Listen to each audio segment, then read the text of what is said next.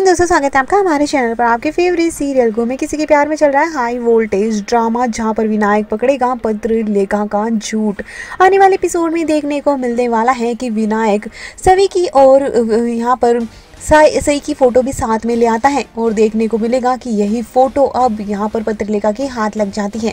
विनायक सब जगह इस तस्वीर को ढूंढते नज़र आएगा और पत्रलेखा को अब पता चल जाता है कि सही ज़िंदा है, लेकिन वो विराट से इस सच को छुपाने की कोशिश करेगी क्योंकि वो विनायक को नहीं खोना चाहती और ना ही वो ये सच सामने आने देना चाहती है।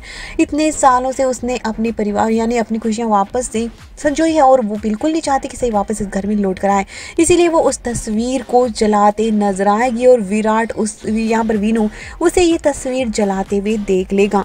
यह दोस्तों, देखने को मिलने वाला है कि अब वीनू यहाँ पर पत्रलेखा को रंगे हाथ पकड़ते नज़र आएगा और वो काफ़ी कुछ कह देता है।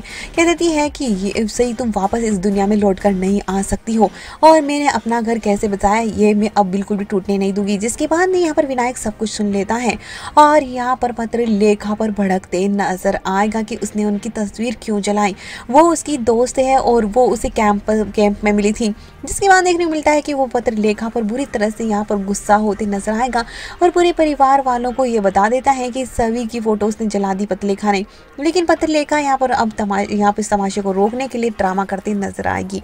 तो वही दूसरी तरफ़ विनायक पत्रलेखा से बुरी तरह से नाराज़ हो जाएगा कि उसने उनकी तस्वीर जला दी है। तो दूसरी तरफ़ देखने को मिलता है कि सभी बार बार यहाँ पर विनायक को मिस करते नज़र आएगी और दूसरी तरफ़ गुंडे भी उनके पीछे पड़ जाते हैं और जल्द ही वापस होगी। यहाँ पर देखने को मिलेगा किस तरह से। यहाँ पर सही, अब यहाँ पर फैसला लेते नज़र आएगी।